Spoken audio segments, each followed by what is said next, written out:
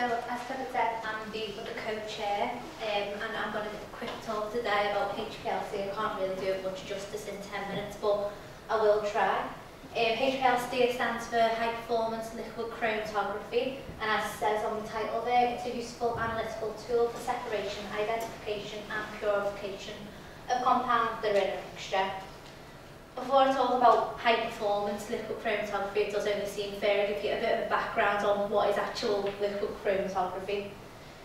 So, it's a technique for separating a mixture. It's based on the physical and chemical properties of the compound and the most important is the polarity of the compound and polarity of a compound is all to do with how water soluble it is. So if it's got a high polarity, it's very water soluble. If it's got a low polarity, then it's low water soluble. And because of the differences in the physical properties of the compound, you can separate them using this liquid chromatography.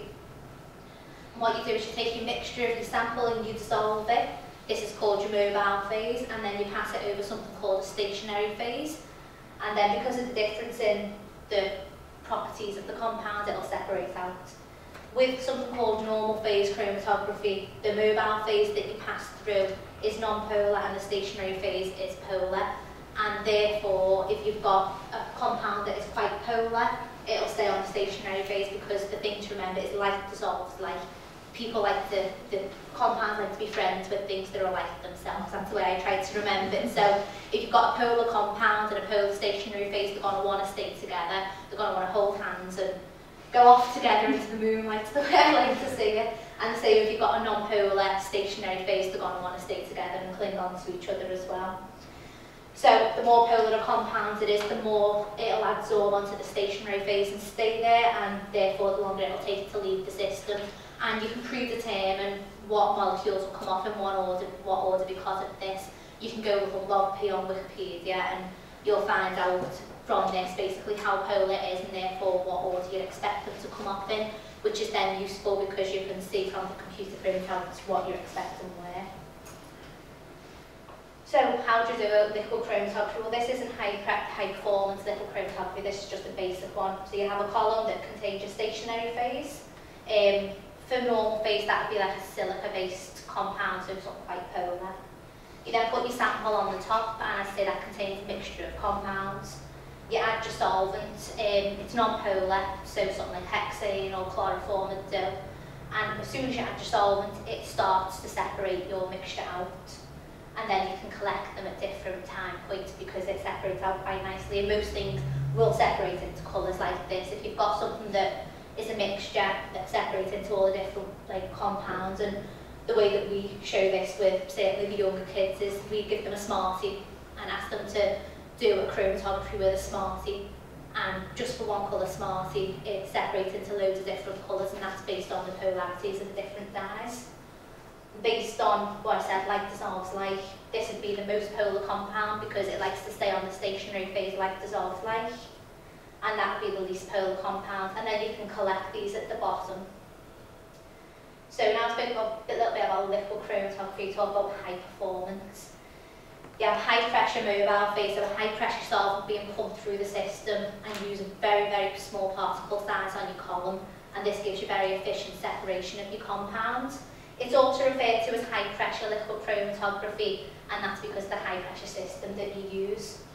It's great for the separation of non-volatile or thermally sensitive compounds. Some examples of these are uh, pharmaceutics, proteins, organics, and with a thermally unstable you can use enzymes, um, amino acids, and for example trinitrotoluene, which is TNT, which definitely wouldn't want to heat up of any description. So the system, well, that's what it looks like, and I know that doesn't mean a lot to anybody, so I broke it down into a bit of a diagram.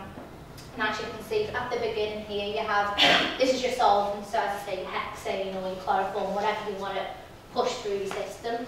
This goes through a pump, and you pump it through whatever rate your method tells you to. Usually it's about one mill a minute, so it's a really low cost in the sense that you're not using very much solvent at all. And then you have something called an auto sampler, which is where you put your sample on, and then a small part of it gets injected, usually about 20 microlitres. So you only have to use a tiny amount of sample, which means that if you're doing micro experiments, you only have to use a tiny amount of sample, so nothing's going to waste. Then you have your stationary phase, which is your column, which where all your separation occurs, and then that moves on to a detector. Use different detectors, UV, VIS, um, loads of different types of ones, and then that goes onto the computer, which then does its fancy work, I don't know what it does, but it turns it into a nice little printout, and then from the detector it goes into the waste. Or if you don't want to have it go into the waste, you can actually collect off the different fractions, and then you've got pure fractions of each like molecule that you've got then. So from the computer printout, you get what's called a chromatogram. And this is what a chromatogram looks like. And as you can see, get different peaks. Each different peak would represent a different compound that is in that mixture.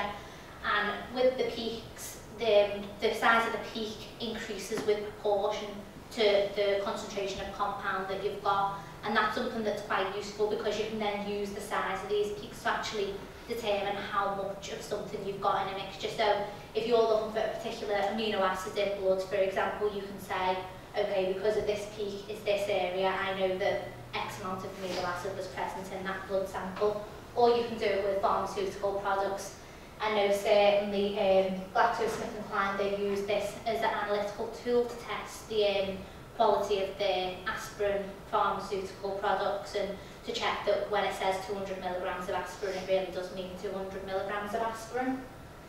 Um, so as you can see from this, the most non-polar compounds again will come out first, and you would know what that was because you've gone and looked up what the log P's of it are, so you can then say, okay, from this P here, I know what it is, and you can do the analytics of that then.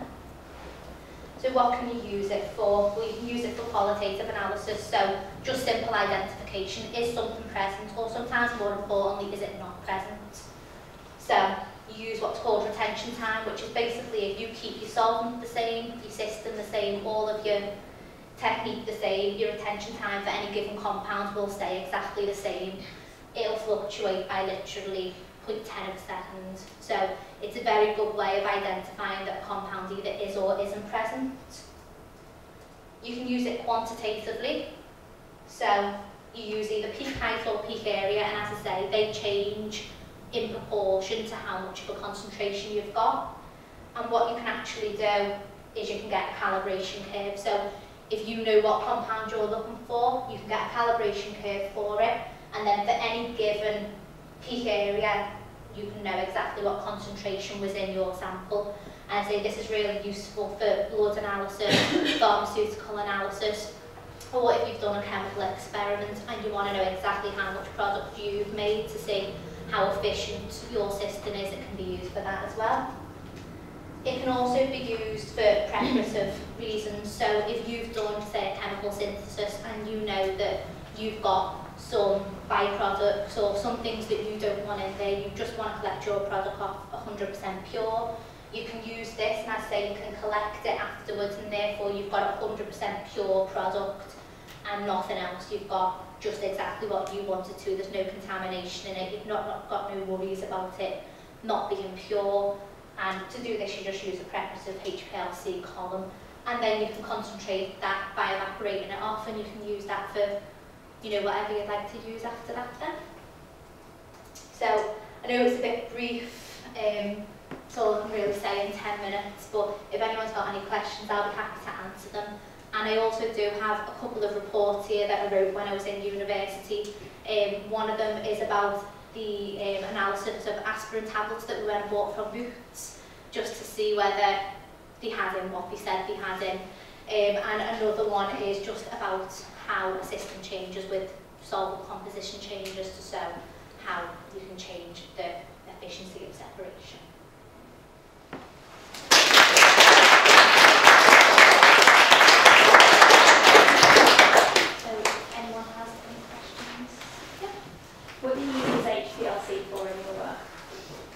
my work, I do, um, I attach liposomes, which is a drug carrier, onto another molecule.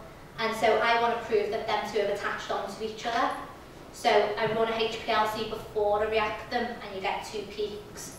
And then I run an HPLC after you've reacted them, and you only get one peak. So that shows that the reaction has occurred, and that your two reactants have turned into a, a, a product. So it can be useful for that as well, sort of to prove that what you're saying has happened, has actually happened. Yeah. What kind of concentration levels is it down to? Um, it depends on what you're using, but some of them can go down to nanograms. Um, it really is, it's quite a sensitive technique. It's got a really low detection limit um, and it's got a really good sensitivity as well. Um, but yeah, it does depend on what you're using, but I use nanograms and it detects just. And I say you only need to use like 20 microlitres and that's quite a big injection size as well. I tend to use 10 microlitres. So it's really a small sample size, which is good if you've not got much sample to use. Anyone else? So I've got a report up here if anyone wants to grab one afterwards and some nighttime reading. Thanks again.